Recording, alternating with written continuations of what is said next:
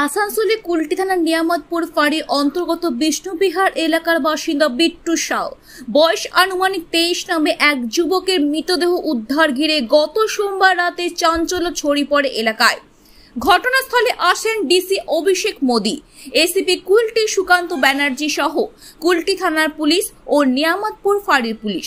ঘটনা চব্বিশ ঘণ্টার মধ্যে ওই যুবকের হত্যার ঘটনায় জড়িত দুজন হত্যাকারীকে গ্রেপ্তার করল কুলটি থানার নিয়ামতপুর ফাঁড়ি পুলিশ।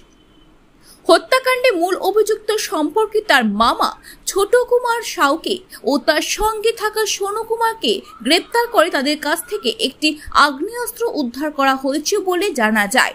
অভিযুক্ত দুজনকে বুধবার আসানসোল আদালতে তোলা হয়।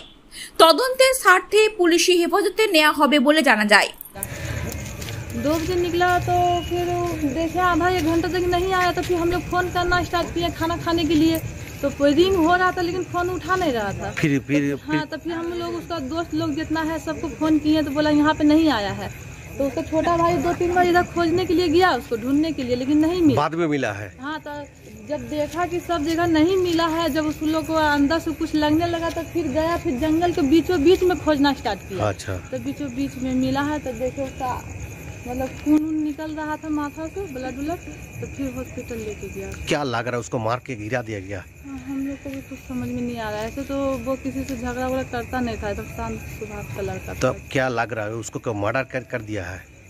ना ऐसे तो हम लोग तो पे किसी पे शक तो ऐसा जंगल में घिरा हुआ था?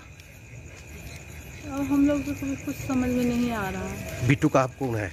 हम बिट्टू का आंटी हैं माँ हम दोनों गोतनी हैं। हम छोटी हैं दीदी बड़ी है। आपका नाम क्या है? मेरा नाम सिंधु। तो आप ये कुछ खबर मिला जो बिट्टू को ज़िंदा है या कुछ? कुछ मिला है खबर? हाँ वो तो हॉस्पिटल से फ़ोन आया।